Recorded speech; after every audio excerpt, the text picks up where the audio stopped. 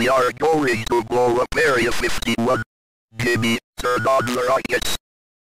Yes, boss. Well, we are flying.